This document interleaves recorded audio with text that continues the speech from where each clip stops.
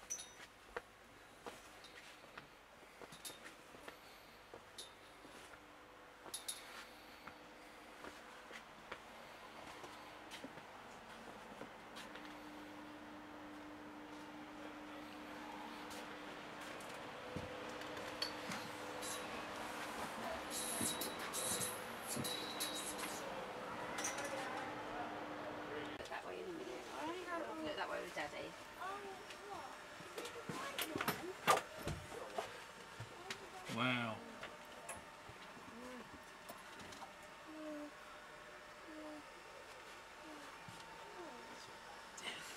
I could try and get out your way, but it's not easy. Oh, that's fine. You okay? Crikey, what a display. Wow. You okay? Yes, that's fine. Thank you. Cheers. Okay.